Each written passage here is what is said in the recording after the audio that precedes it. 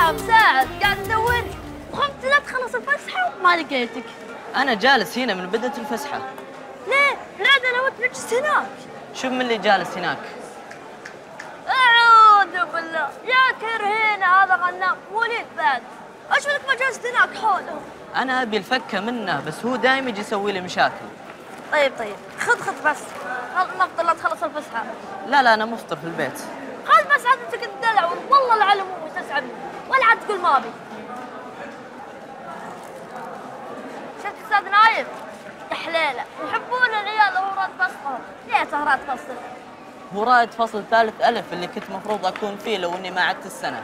يمكن لك إنك عدت السنة. عشان ما تصير معك الشهاده غنام وربعة. أنا كنت الأول عليهم لين ما رحت عند بيت غزيل وامها انت وراك ما تسميها أمي.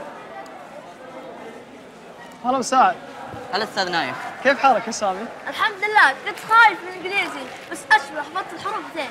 كل شيء سهل مع المذاكرة. بعدين عندك صديقك مساعد كان جيد في كل المواد. إذا بغيت خليه يعلمك ويشرح لك الأشياء اللي ما تعرفها. لو إني جيد كان ما عدت السنة. أنت قعدت في مادة واحدة وإن شاء الله إنها ما تتكرر لو شديت حيلك. المهم يا شباب أنا صرت مشرف النشاط المسرحي هسه. زين أنا كنت في الابتدائي مشارك مع فرقة المسرح. بيصير عندنا نشاطات واجد ومسرحية لكل فصل مثل كل سنة.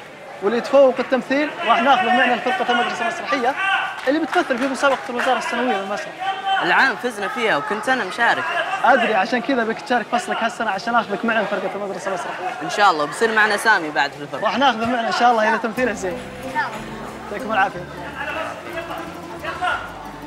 يلا ما تسمع الدنيا يلا حرك على فصلك.